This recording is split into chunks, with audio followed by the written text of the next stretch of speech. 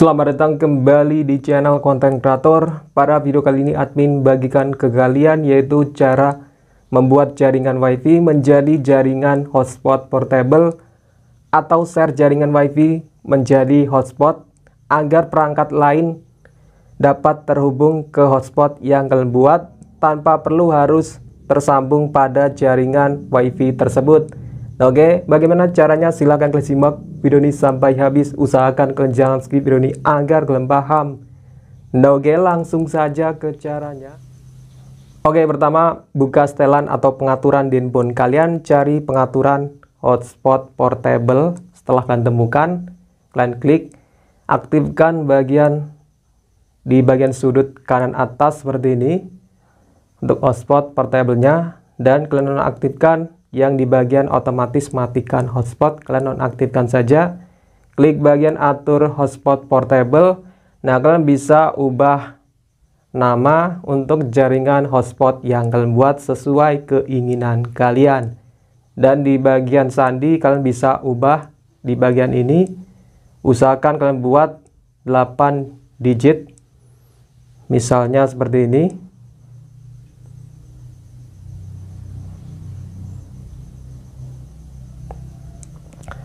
Oke, untuk bagian bawah kalian bisa atur keamanan, identifikasi perangkat, dan sembunyikan SSID.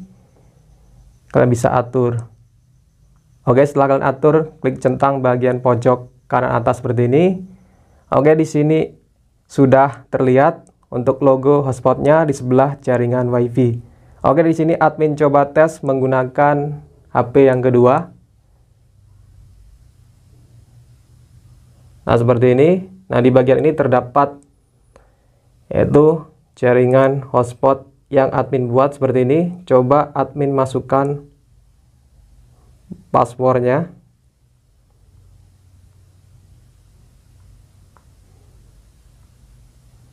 Nah, seperti ini dia, teman-teman. Oke, coba admin tes apakah terhubung. Nah, tersambung, teman-teman. Coba di sini admin buka YouTube seperti ini. Nah, bisa teman-teman.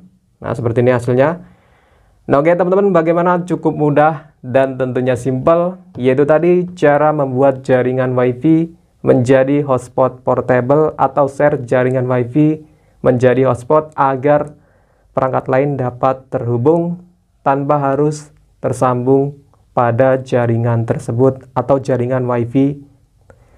Semoga video kali ini bisa bermanfaat khususnya teman-teman yang sudah menonton video ini